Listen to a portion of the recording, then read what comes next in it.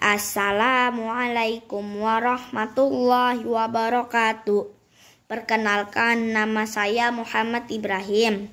Saya ingin membahas tentang Desa Sentolo. Desa Sentolo adalah kampung halaman orang tuaku yang berada di Yogyakarta. Karakteristik Desa Sentolo, rumah-rumahnya masih berjauhan. Jalanannya sebagian sudah diaspal dan sebagian belum masih banyak pohon-pohon besar.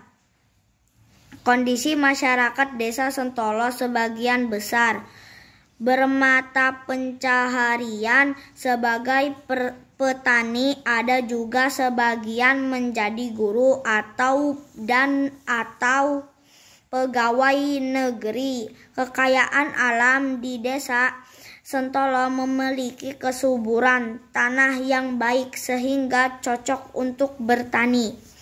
Kondisi desa Sentolo sudah ideal karena kondisi pemukiman dan lahan pertanian masih seimbang dan udaranya masih segar. Saran saya untuk desa Sentolo lebih mengarah ke sarana misalnya jalanan di aspal agar ketika hujan tidak berlumpur atau becek. Sekian dari saya. Mohon maaf jika ada kesalahan. Wassalamualaikum warahmatullahi wabarakatuh.